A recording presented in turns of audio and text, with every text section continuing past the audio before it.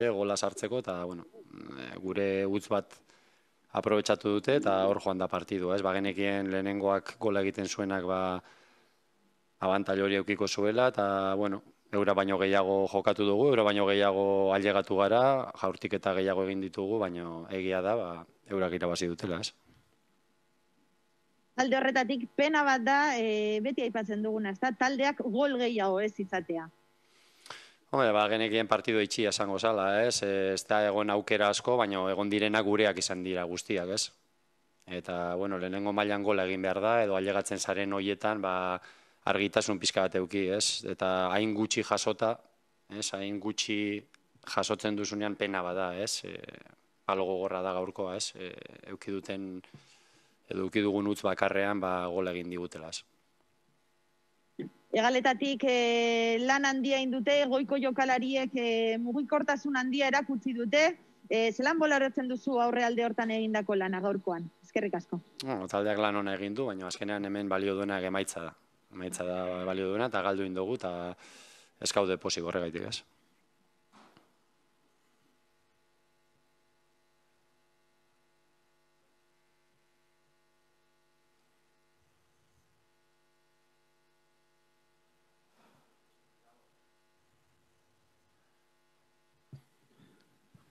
Rafa Hilera, Radio Euskadi. Raúl Jiménez, Radio Popular de Bilbao.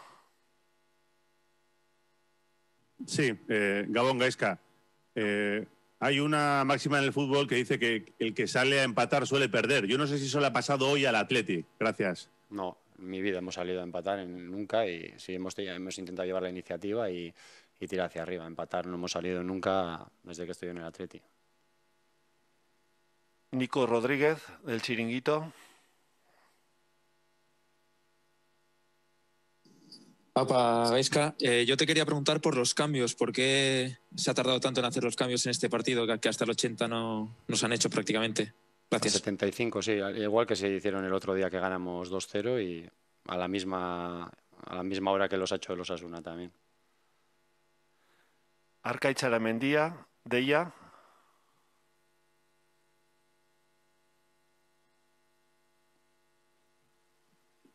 Opa, eh, no sé si tienes la sensación de que se está repitiendo el mismo tipo de partido demasiadas veces ya esta temporada. Es que ricasco. Sí, puede ser, ¿no? Porque al final yo creo que los Asuna no ha sido mejor que nosotros. ¿no? Y es verdad que la que ha tenido la ha metido y nosotros hemos hecho el doble de tiros que ellos sin tener ocasiones clarísimas, pero suficientes, ¿no? Como para haber hecho algo más y, y es una pena que hayamos concedido ese gol que nos ha, que nos ha dado esta derrota, ¿no?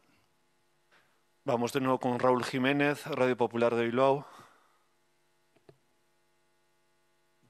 Eh, todavía es pronto, son seis puntos. Mm, no sé cómo está un poquito el equipo. El otro día se ganó, había cierta tranquilidad, nos encadenan dos buenos resultados. El próximo día viene el Sevilla. ¿Cómo es un poquito la situación del equipo en relación al resto de rivales? Gracias. Bueno, hoy jodidos, estamos muy disgustados, ¿no? no Creo que teníamos todas las ilusiones puestas en este partido y no hemos podido ganarlo, ¿no? Creo que el equipo no ha hecho un mal partido, ni mucho menos, pero no hemos podido ganarlo y, desde luego estamos contrariados, disgustados, ¿no? Vamos para terminar con eh, Kepa Iribar de Euskadi Ratia, en euskera de nuevo.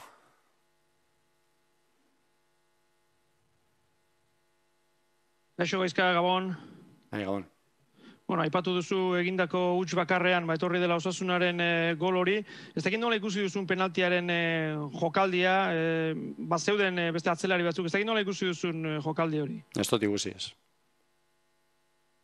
Bueno, aipatu duzu e, aurrekaldean, e, bueno, gaur etzegoela errexe, ez da, partidu itxia, e, oso borrokatua, erroetzegoen errexea, e, bi taldentzat aukerak sortze, ez da?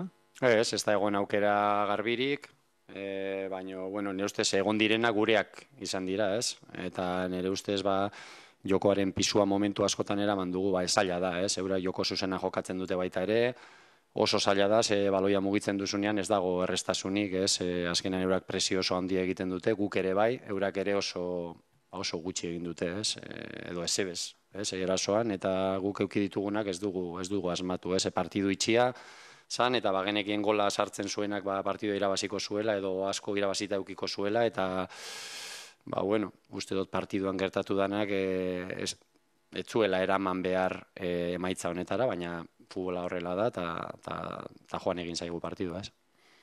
Venga, vale, eskerrik asko.